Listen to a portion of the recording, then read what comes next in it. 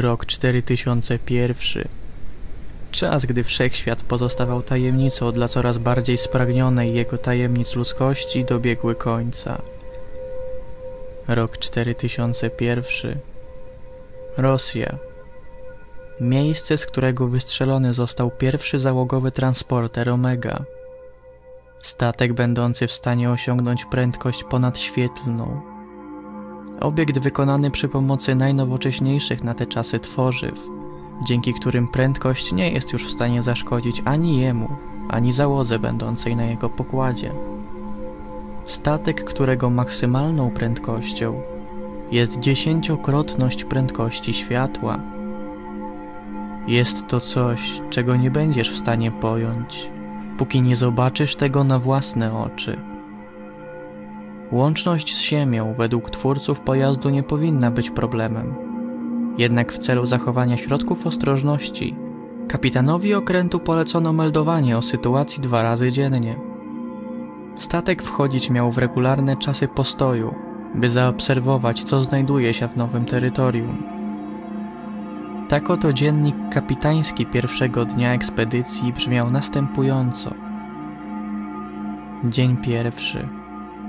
Raport numer jeden. Jesteśmy na orbicie okołoziemskiej. Wszystko wydaje się być w normie.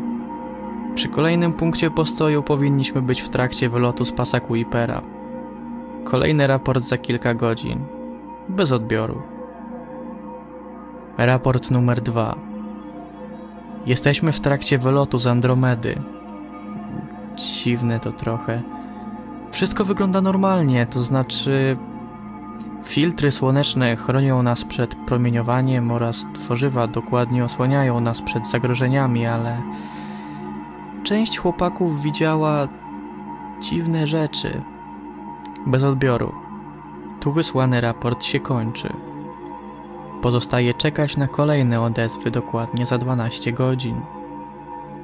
Dzień drugi. Raport pierwszy. Po śnie czujemy się wypoczęci. Autopilot sprawuje się bardzo dobrze. Wracając do ostatniego raportu, chłopaki mówili, że w przerwie między galaktykami, gdy mijaliśmy puste przestrzenie, widzieli jakby niewyraźne kształty. Daleko stąd. Wiemy jak to brzmi, dlatego nie uznaję tego za ważną informację. Do kolejnego raportu. Bez odbioru. Raport drugi. Dzień minął spokojnie.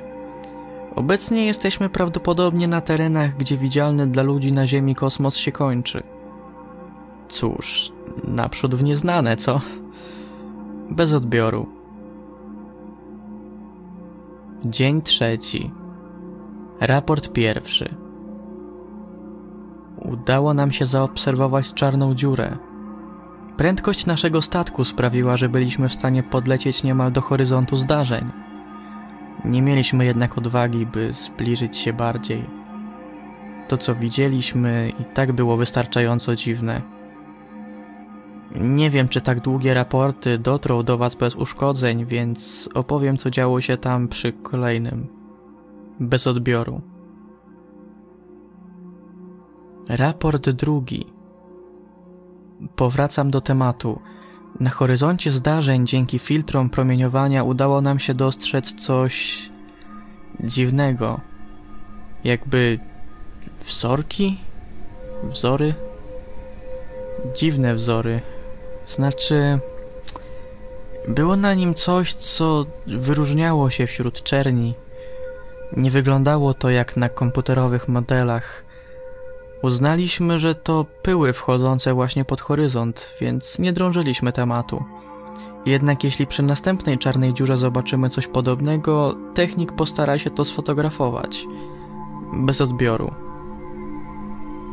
Rozporządzenie wysłane na statek po otrzymaniu drugiej części raportu dziennego. Technicy potwierdzają, iż wytrzymałość statku jest w stanie znieść grawitację horyzontu zdarzeń. Przy kolejnym spotkaniu z czarną dziurą załoga musi sfotografować niepokojące obserwacje w przypadku ich ponownego wystąpienia oraz zbliżyć się na odległość 500 metrów do horyzontu zdarzeń w celu wystrzelenia specjalnie wzmacnianej sondy rejestrującej, której zadaniem będzie przekazanie nam obrazu z wnętrza czarnej dziury. Jeśli projekt zawiedzie, przed wylotem kolejnego transportera sądy zostaną podwójnie wzmocnione. Dzień czwarty. Raport pierwszy. Chłopcy ponownie skarżą się na dziwne kształty widziane w ciemności. Tym razem jest ich już trzech. Jeden z nich stwierdził, że kształt, który zobaczył, posiadał pięć ramion i przypominał typową gwiazdkę z bajek dla dzieci, lecz jakby trochę powykręcaną. Będę meldować na bieżąco, bez odbioru. Raport drugi. Coś tu jest nie tak. Jeden z chłopców stwierdził, iż na tle lodowego odłamu widział dziewczynkę. Ponoć zobaczył ciało ludzkiej dziewczynki dryfujące po środku pieprzonej próżni. Zdaję sobie sprawę, że powinno być zdeformowane, jednak mówił, iż wygląda jakby po prostu spała. Nie udało mi się jej zobaczyć. Proszę o polecenia, instrukcje co do tej sprawy. Rozporządzenie wysłane na statek po otrzymaniu drugiej części raportu dziennego. Nakazuje się trzymanie planu i informowanie na bieżąco o każdej dziwnej bądź niezrozumiałej rzeczy. Misja trwa nadal, zaś raporty wciąż mają być przesyłane w niezmienionej formie.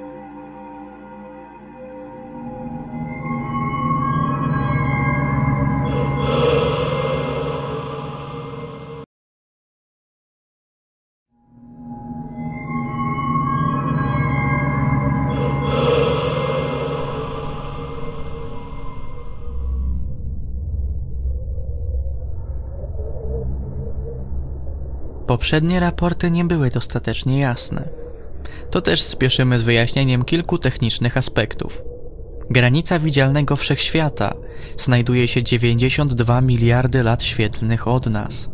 To też sposób, w jaki statek osiąga tak wielkie prędkości, nie cofając się w czasie, oraz jest w stanie przekazywać pełne informacje bazie na Ziemi, opiera się na zaawansowanym wykorzystywaniu tuneli podprzestrzennych.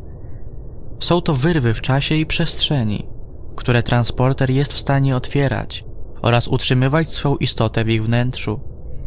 Dzięki temu statek znika na pewien czas z przestrzeni, co umożliwia mu pokonywanie ogromnych odległości, nie zmieniając przy tym zupełnie niczego. To gwoli wyjaśnienia. Zaś teraz pora przejść do kolejnych raportów. Ostatnia wiadomość przysłana z pokładu Omegi zmroziła krew w żyłach nie tylko załogi, ale i naukowców oczekujących przebiegu misji. Zaobserwowanie ciała tak daleko od Ziemi było czymś zaiste niemożliwym. Jednak przyszłe raporty potwierdziły jedynie, iż to, co jest możliwe, a co nie, opiera się w całkowitej mierze na tym, co dany człowiek jest w stanie sobie wyobrazić. Dzień piąty. Raport pierwszy. Nie spaliśmy zbyt dobrze. Chłopaki skarżyli się, że cały czas słyszą szepty w dziwnym języku. Dzieje się to, gdy zamykają oczy. Niestety również tego doświadczyłem. To bardzo dziwna sprawa. Najgłośniej słychać je, gdy próbujemy spać. Jednak wystarczy mrugnąć, by w trakcie zamknięcia oczu słyszeć pojedyncze głoski. Słowa są jednak niezrozumiałe, więc nikt z nas nie jest w stanie ich opisać. Jeśli komuś się uda, niezwłocznie poinformujemy was o tym. Bez odbioru. Raport drugi. Sprawa dziewczynki z poprzedniego dnia nie daje nam spokoju. Coraz bardziej jednak wierzymy, iż była to jedynie halucynacja. W końcu to niemożliwe, prawda? Cóż, a co do naszego położenia, to znajdujemy się w ciemnej strefie, co chwilę rozjaśnianej niesamowitymi rozbłyskami. To musi być pulsar. Chłopcy próbują ocenić miejsce, w którym się znajduje, byśmy mogli podlecieć bliżej. Jutro spodziewać możecie się raportu z pobliża tej gwiazdy. Bez odbioru. Dzień szósty. Raport pierwszy.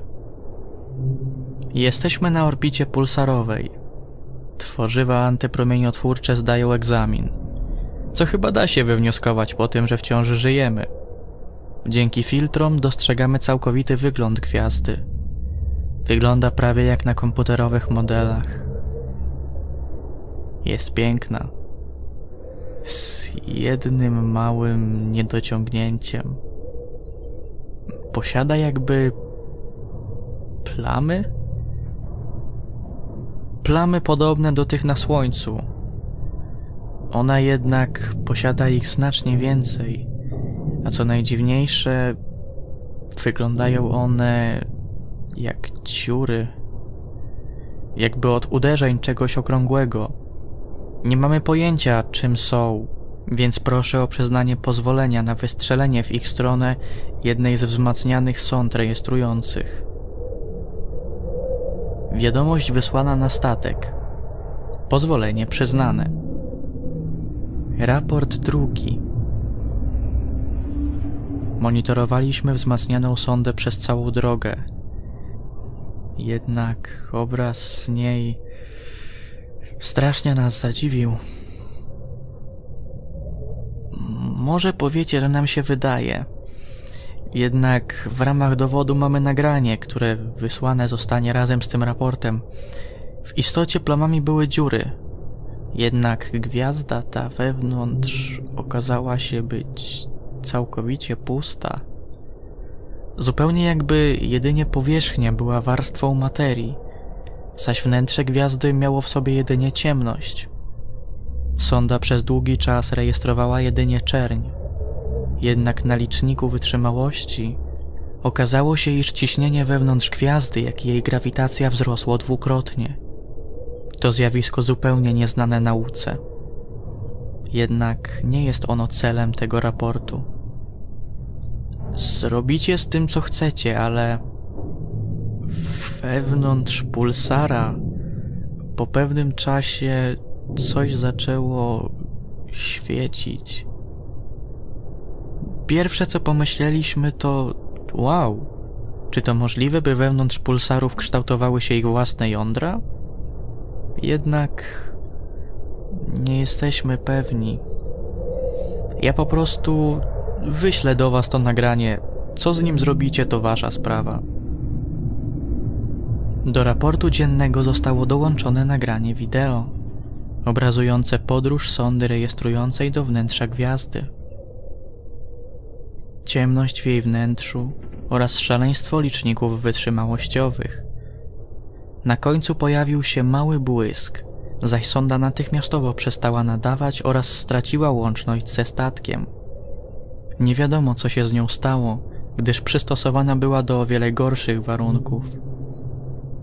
Jeden z techników ziemskich niesamowicie przybliżył ostatnią klatkę nagrania, retuszując przy tym promieniotwórcze światło.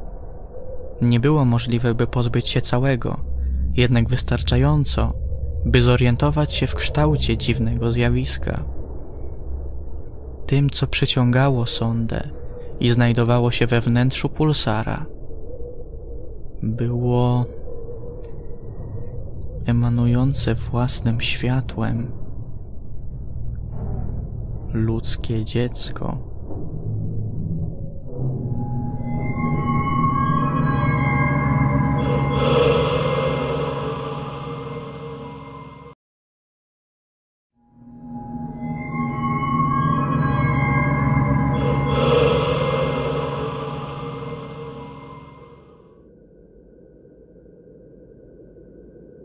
Po ujrzeniu ludzkiego dziecka, opiekunowie misji nie mieli pojęcia, co mogą zrobić. Tak wielka abstrakcyjność wraz z bezlitosnym zdeptaniem pojęć naukowych była nie do opisania. Istnieje wiara religijna, mająca zapewnik, iż po śmierci człowieka jego duch powraca w rozstaje wszechświata.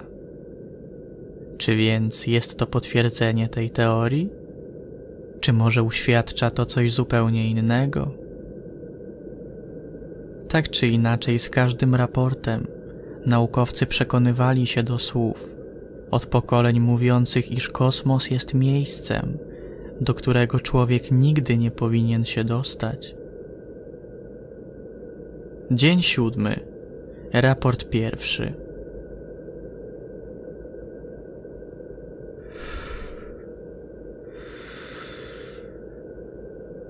Chcemy wracać na Ziemię. Cała załoga się boi. Zrobiliśmy jak kazaliście. Po namierzeniu kolejnej czarnej dziury podlecieliśmy jeszcze bliżej. Było na niej to samo, co wcześniej.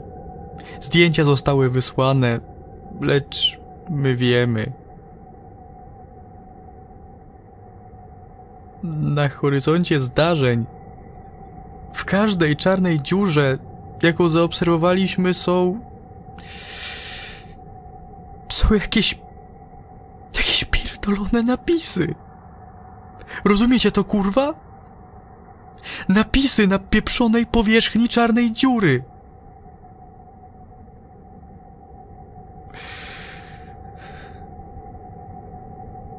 Mało tego? Chcecie więcej powodów, by nas stąd zabrać? Proszę bardzo.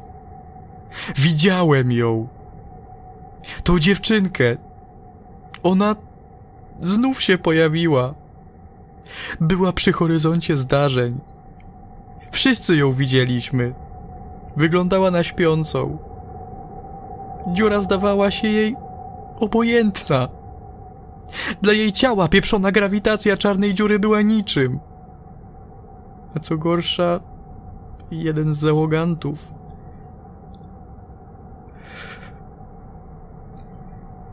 Jeden z załogantów stwierdził, że to jego córka. Rozumiecie? Jego córka, która nie żyje od dwóch lat.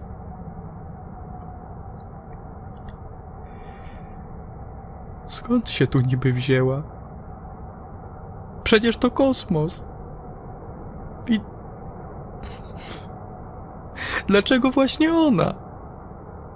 Czemu pokazała się właśnie nam? Czemu właśnie ona? Cudem powstrzymaliśmy go od wpieprzenia się prosto w czarną dziurę. Przebywa w izolatce.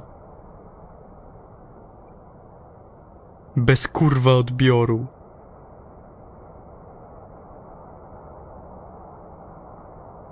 Raport drugi.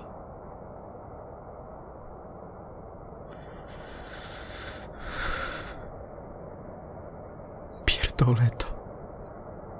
Zróbcie co chcecie. Tłumaczcie sobie te napisy, mam to w dupie. Pieprze, rozumiecie? Zrobiłem co chcieliście. Wystrzeliłem sondę pod horyzont zdarzeń. Spodziewałem się kurwa wszystkiego, lecz nie tego. To nie jest jebane miejsce dla ludzi. Zabierzcie nas stąd. Zabierzcie nas stąd do kurwy. Proszę.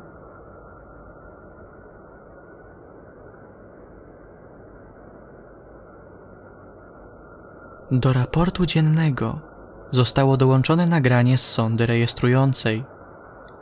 Obraz przedstawia dziewczynkę unoszącą się na tle horyzontu zdarzeń. W istocie jest on pokryty napisami w dziwnym języku. Po przejściu przez niego obraz sondy znacznie osłabł, prawdopodobnie z powodów grawitacji. Masa okazała się większa niż naukowcy się spodziewali i sonda najprawdopodobniej została zgnieciona. Jednak nie na tyle, by przestać rejestrować obraz. Po przejściu przez horyzont na naukowców czekało oślepiające światło. Światło, które mogło zaszkodzić nawet przez ekran. Następne sceny wydawały się już czystym bezsensem. Po wyjściu z obrębu światła pojawiła się jakby projekcja. Zgadza się. Projekcja. Zupełnie jakby wnętrze czarnej dziury było olbrzymim kineskopem, Projekcja przedstawiająca kobietę, ludzką kobietę, bez twarzy, kobietę sięgającą po owoc, jabłko.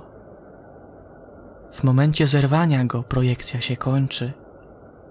Na ekran powraca czerń, całkowita czerń. Czerń egzystująca przez kolejne 7 minut nagrania. Po tym zaś obraz przechodzi w coś zupełnie innego. Jak w przypadku gwiazdy neutronowej, naukowcom ukazuje się prawdopodobnie jądro czarnej dziury.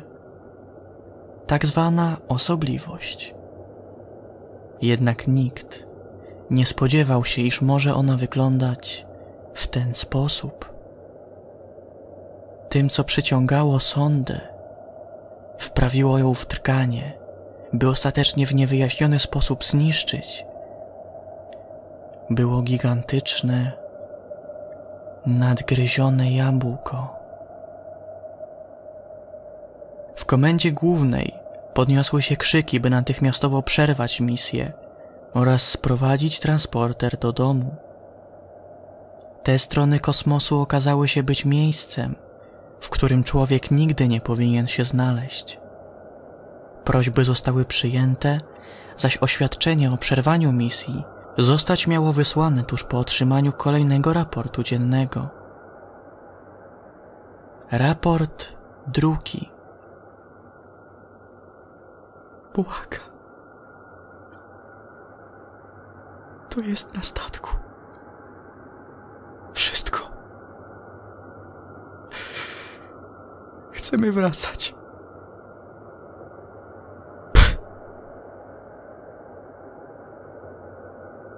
Drzewa.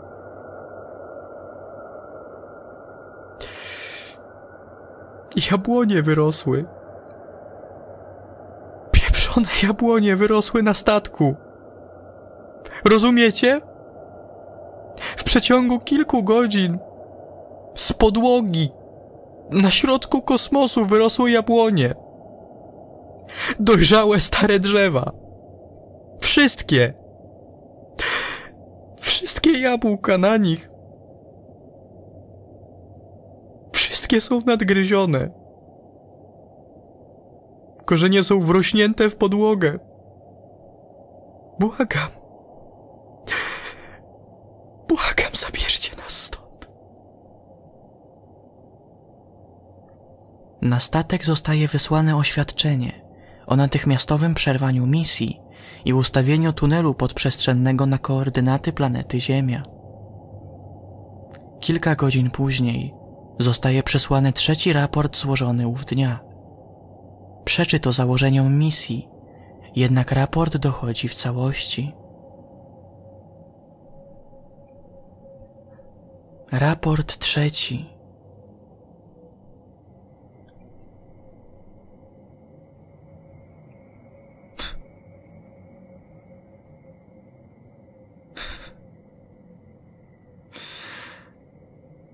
Nie działa. Nie możemy wrócić. Ściąga nas. Coś. Coś nas ściąga. To nie grawitacja. To nic, co znamy. Ściąga zupełnie jak pieprzony sznurek. Jakbyśmy byli w słoiku czegoś wielkiego, co ciągnie nas w swoją stronę. Po prostu. Po prostu nas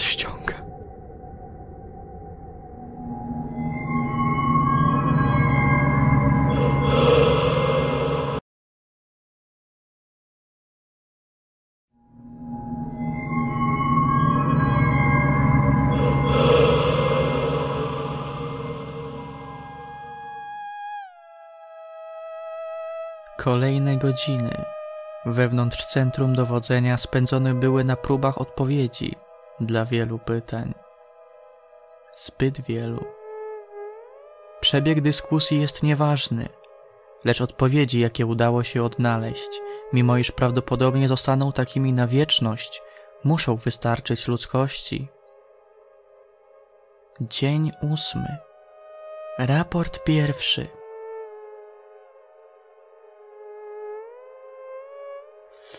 Wciąż jesteśmy ściągani. To, gdzie teraz jesteśmy, nie wiemy, czy. Widzimy półki skalne. Idealnie wyrzeźbione półki skalne.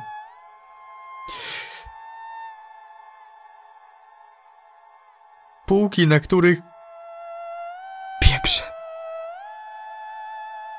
Weźcie to i dajcie mi święty spokój. Do raportu dziennego dołączony został plik zawierający pięć fotografii. Zdjęcie pierwsze przedstawia półkę skalną, dryfującą na środku kosmosu. Materiał, z jakiego jest zbudowana, wyglądem nie odpowiada niczemu spotykanemu na Ziemi czy planetach lub gwiazdach, o jakich kiedykolwiek słyszała ludzkość. Na półce skalnej widnieje jabłoń. Drzewo spotykane jedynie na Ziemi. W świetnym stanie znajdujemy na peryferiach kosmosu. Fotografia druga przedstawia identyczną półkę skalną, na której widnieje rozpadający się, stworzony ze zgniłego drewna, przerażający ludzki dom. Wszystkie światła są zgaszone. Fotografia trzecia przedstawia półkę skalną, na której wznosi się gigantyczny nagrobek lub krzyż. Fotografia czwarta przedstawia półkę skalną, na której widzimy wpatrującą się w statek niezidentyfikowaną istotę. Podstawowy opis wyglądu to gigantyczna mucha stojąca na pajęczych odnóżach. Na jej głowie widnieje cierniowa korona. Wpatruje się ona w przelatujący statek, nie wykonując żadnego ruchu. Czy można okrzyknąć to nową formą życia?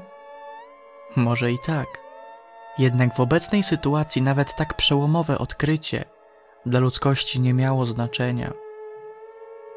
Ostatnia z fotografii przedstawia półkę skalną, na której widnieje starty wyraz, jakby mający ciągnąć się dalej.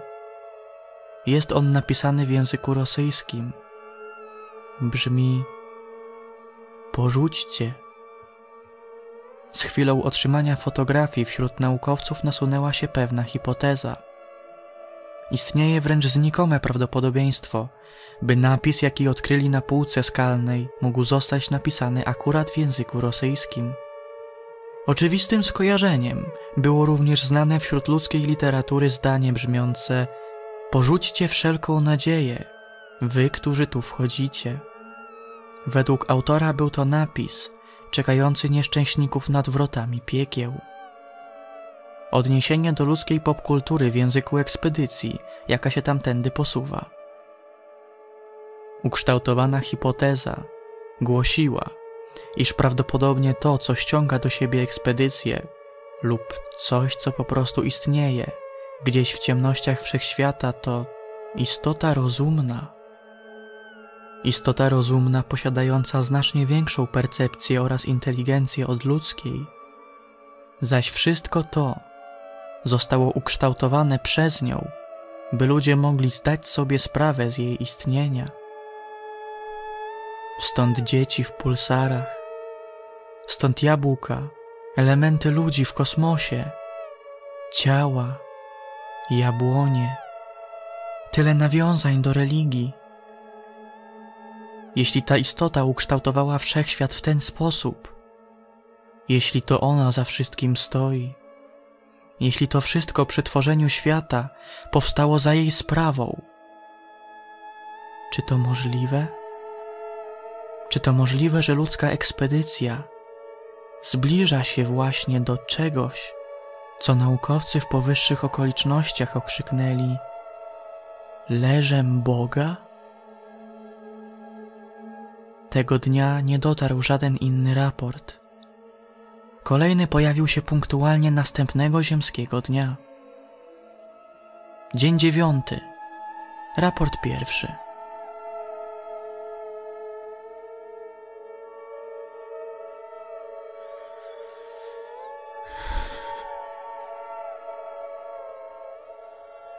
To koniec. Nie jesteśmy bezpieczni. Nawet tutaj. Jeden z członków załogi zaginął.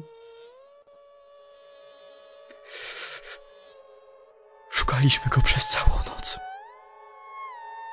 Z izolatki. Nikt z nas nie miał pojęcia, co się stało. Nie mogliśmy mieć. Nie. Takie rzeczy nie dzieją się naprawdę. Młodszy dowódca zaczął krzyczeć. Znaleźliśmy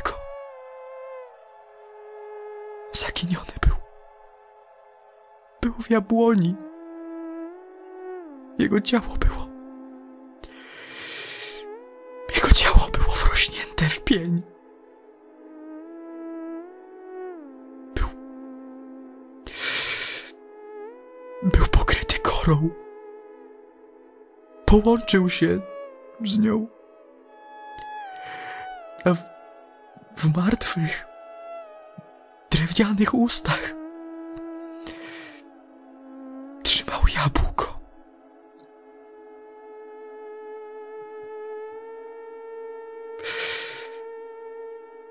Wszyscy zamknęliśmy się w sterowni. Tylko tu nie ma jabłoni. Jesteśmy zgubieni. A do tego zaczynamy to widzieć. To. To, co nas ściąga.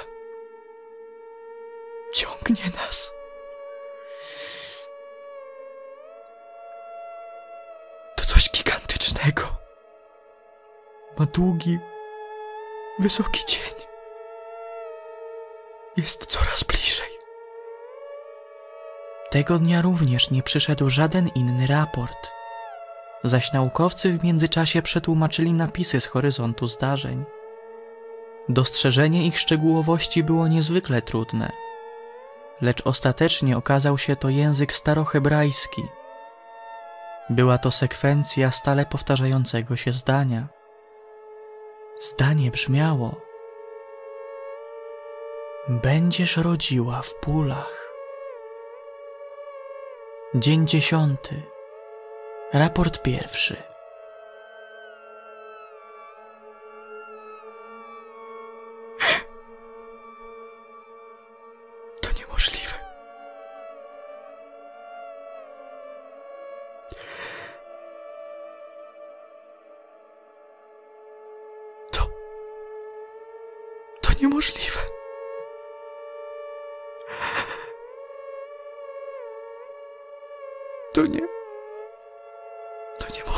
Może się dziać.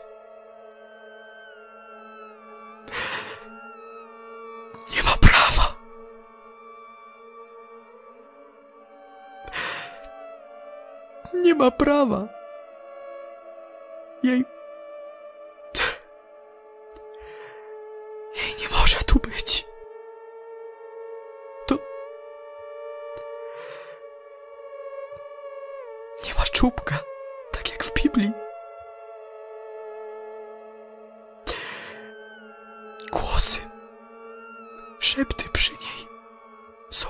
głośniejsze. Ciągnie nas. Nie. To nie może się dziać naprawdę. wyślemy zdjęcia, bo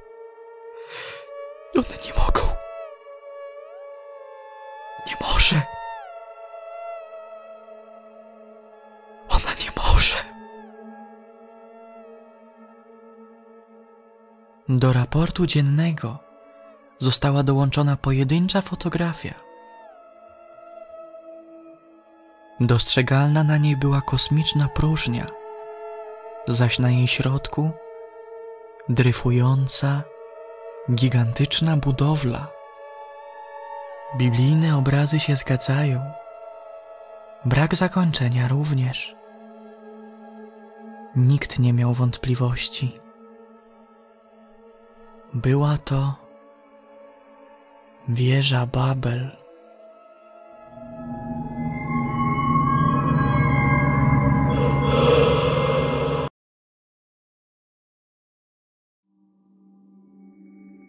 Na wstępie chciałbym podziękować użytkownikowi Kadarak, który jako pierwszy wsparł mnie finansowo w serwisie Patronite.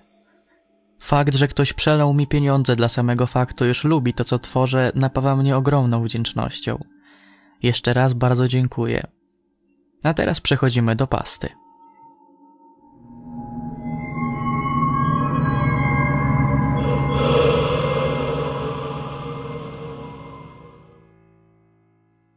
Minęły 24 ziemskie godziny. Żadnych odezwów.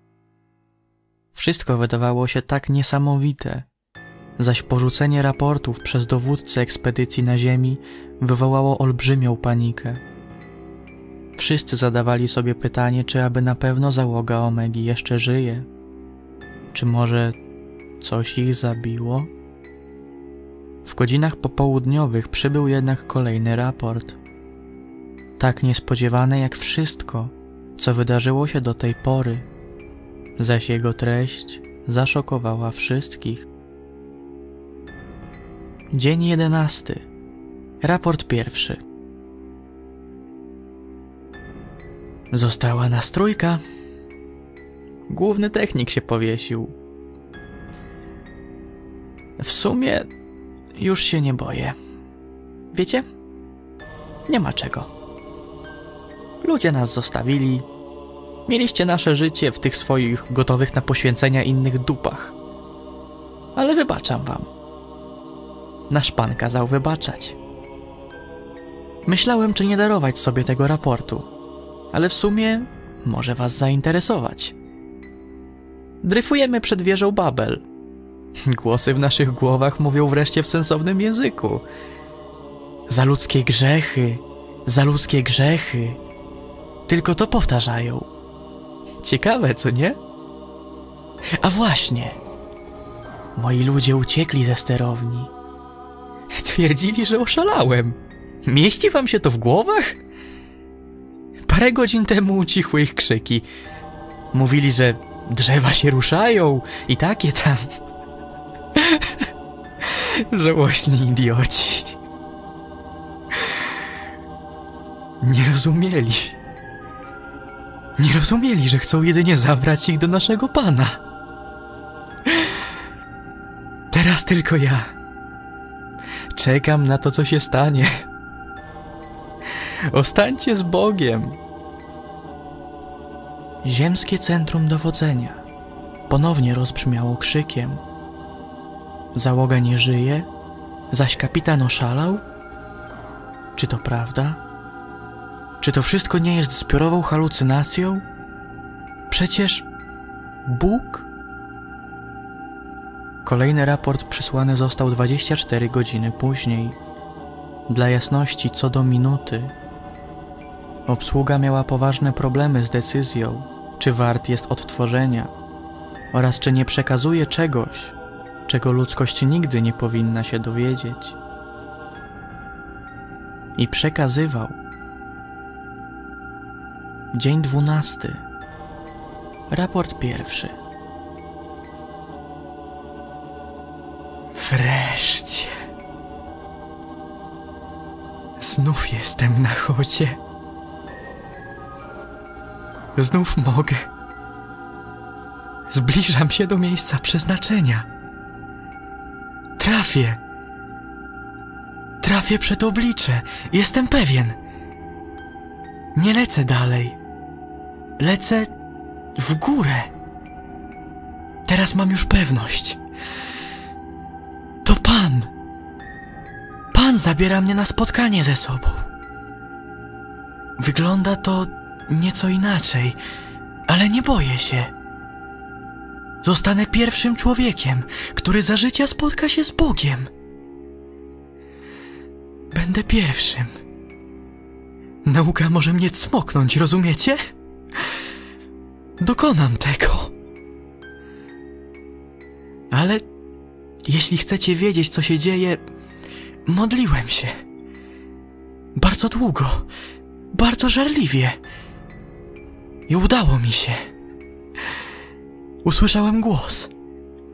Drzewa za ścianą przemówiły. Drewniane zgrzyty ich kory mnie przekonały. Powiedziały tylko jedno słowo. Mortem chyba. Nie wiem po jakiemu, ale nie obchodzi mnie język. Jestem pewien, że to zaproszenie.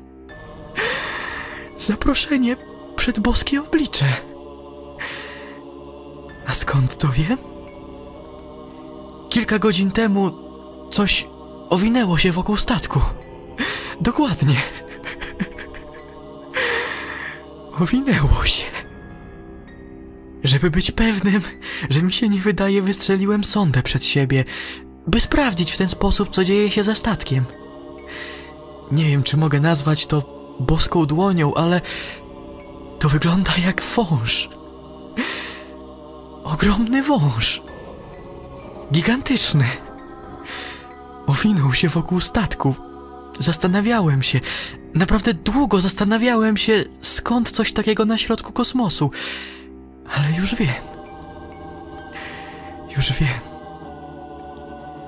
Wiem, że nie jest to zwierzę. To coś zostało wysłane przez Pana. Na pewno. Dlatego też się nie boję. Nie mam czego. Ruszało się wokół statku, wciąż się wije. Jest żywe. Jak ja. Bałem się, lecz wtedy uderzyło w przednią szybę. Uderzyło, dając mi znak. Tak. A jaki? Otóż w miejscu, gdzie wąż powinien mieć głowę, były twarze. Twarze wszystkich ludzi z mojej załogi. Widzę ich. Widzę ich uśmiechnięte twarze. Widzę je przez okno. Są w tym. Zostali pochłonięci przez naszego Pana. Wodzą za mną wzrokiem. Nawet teraz. Nawet teraz, gdy o tym mówię. Są tak. tak szeroko uśmiechnięci. Szerzej niż potrafią uśmiechać się ludzie. Patrzą na mnie. Dlatego się nie boję. Widzę, że są szczęśliwi. Widzę, że czują się cudownie. Muszą. Wiem, że są szczęśliwi, iż stali się boską ręką. I ja wkrótce również będę. Będę szczęśliwy. Chcę być pierwszy. Pierwszy ujrzeć naszego Stwórcę za życia. I będę. Muszę być. Będę. Na pewno będę.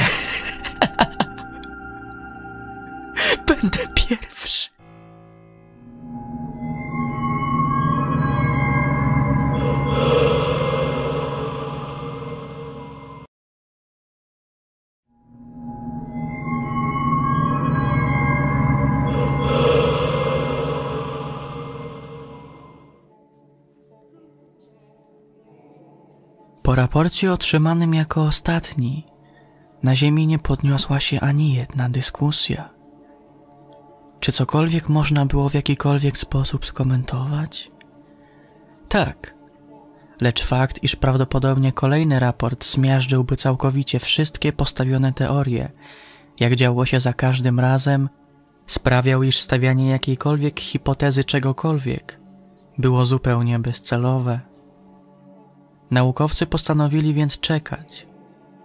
Czekać na ostatni raport przed śmiercią kapitana, gdyż to, że umrze, było już pewne. Nie istniała żadna nadzieja na bezpieczny powrót. Pozostało pytanie, kiedy i co zdąży przekazać przed śmiercią. Dzień trzynasty. Raport pierwszy. Ciągnie mnie do góry. Jestem naprawdę szczęśliwy, ale wiecie co? Czuję dziwne. Czuję, że coś jest nie tak. Patrzę na twarze pochłoniętych załogantów. One patrzą na mnie.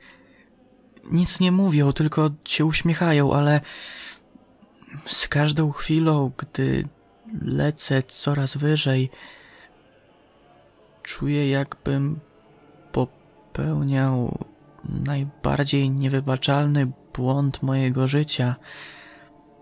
Nie. Nie do końca.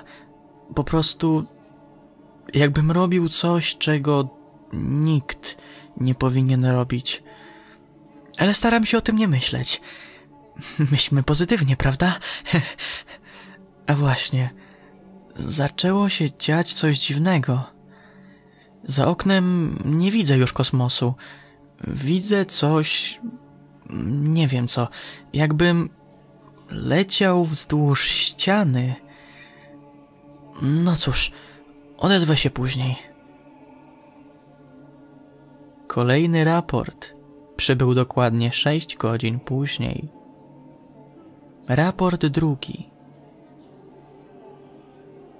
Ściana wciąż się wydłuża. Słuchajcie, boję się. Chcę spotkać naszego pana, ale mam dziwne uczucie, że nie będzie tak wspaniale. Kolejny raport przysłany został jedną godzinę później. Raport trzeci. Wystrzeliłem sondę za siebie. Chcę się przekonać, wzdłuż jakiej ściany czy czegoś tam lecę. Jeśli coś się stanie, pomożecie mi, prawda? Kolejny raport został wysłany dokładnie 12 godzin później. Naukowcy stacjonujący na Ziemi spodziewali się kolejnego krótkiego i nic nie wnoszącego splotu zdań. Jednak to, co dostali, znacznie zmieniło ich nastawienie. Dzień czternasty. Raport pierwszy.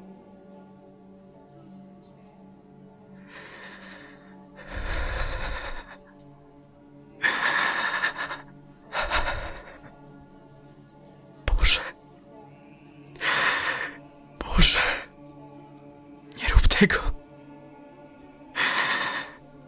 Hej. Ludzie, słyszycie? Pomóżcie. Błagam. Hej. Wyciągnijcie mnie stąd. Wszystko odwołuję. Nie chcę ujrzeć Boga. Zabierzcie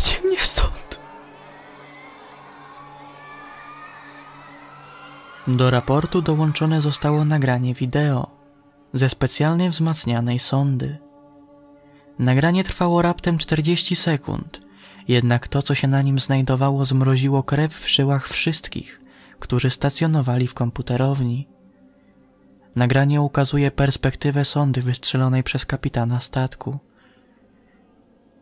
Weszła w tunel podprzestrzenny, by pokonać jak największą odległość. Skoro raport przyszedł tak późno, naukowcy stwierdzili, iż przebywała w tunelu podprzestrzennym 12 godzin, zaś tak długi czas wystarczyłby do opuszczenia widzialnego wszechświata. Pierwsze 10 sekund nagrania demonstruje wylot sondy z tunelu podprzestrzennego. Naukowcy nie spodziewają się zobaczyć niczego. Jednak po chwili okazuje się, jak bardzo się mylili. Był to krzyż. Gigantyczny krzyż. Byście lepiej mogli pojąć ogrom tego zjawiska, krzyż ten był doskonale widoczny z każdymi jego szczegółami po około 92 miliardach lat świetlnych od niego. Był on więc niemal szerokości całego widzialnego wszechświata. Na krzyżu widniała postać.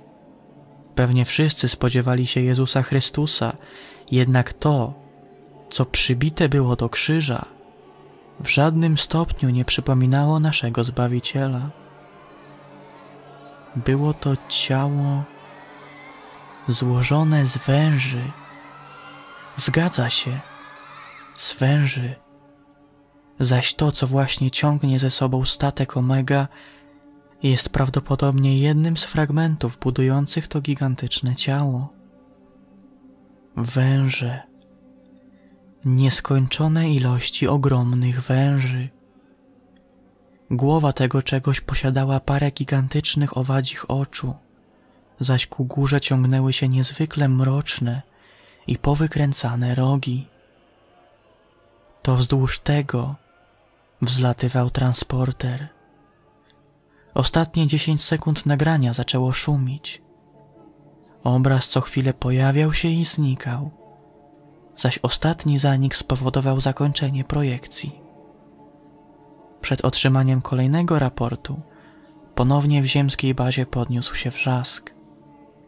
Naukowcy zastanawiali się, czym może być ten obiekt, bądź istota.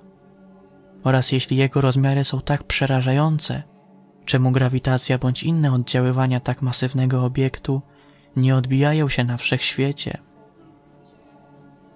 Choć wtedy postawione zostało pytanie, skąd wiadomo, iż się nie odbijają? Może nie jest to grawitacja, nie magnetyzm, nie jest to żadna siła, jaką znamy, lecz może skutkami oddziaływania tego obiektu jest formowanie się galaktyk, powstawanie nieścisłości mających dawać ludziom znak, zbiór szczęśliwych wypadków dających życie układowi słonecznemu, zbiór zbiegów okoliczności, które stworzyły życie na Ziemi.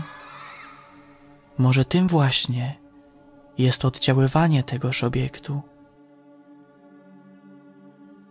Wtedy ponownie podniósł się krzyk, gdyż jeden z naukowców stwierdził, iż ostatecznie obalił tezę, by istotą na krzyżu mógł być Bóg. Okazało się, iż trzaski przy końcu nagrania sondy nie są przypadkowe.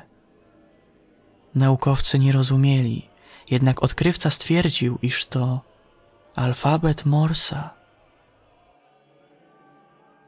Po przetłumaczeniu powstały faktyczne słowa, głoszące Jestem El. Błagam, pomóżcie mi. Dzień piętnasty. Raport pierwszy.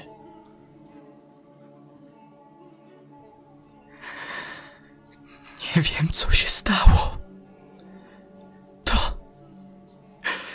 To. Wszystko zniknęło. Twarze, kosmos, zabrało mnie. Nie wiem jak, nie wiem gdzie. Jestem pewien, że przeleciałem nad krzyżem i nad tym czymś, ale wtedy wrzuciło mnie gdzieś strasznie wysoko. Wysoko nad tym. Nie ma tu kosmosu. Jest gniazdo. Gniazdo z mnóstwem oczu. Patrzą na mnie. Oczy są wszędzie. Wszędzie. gnieździe, w ziemi, w próżni, nawet na statku. Oczy są wszędzie. A ja chyba ląduję. Kolejny raport pojawił się dokładnie godzinę później. Raport drugi. Widziałem Boga. Rozmawiałem z Nim. Pozwolił mi wrócić, nim dołączę do innych. Nie bójcie się. Pan jest miłosierny. Chce dla nas jak najlepiej. Chce mieć nas wszystkich przy sobie. Dlatego powiedział, że niebawem ściągnie tu całą ziemię.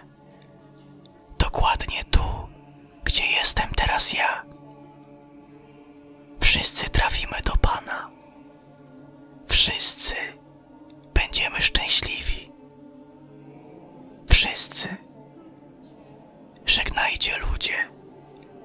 Pan czeka, by zaprosić mnie z powrotem do siebie. Tu raport się kończy, zaś kolejne nie miały miejsca już nigdy.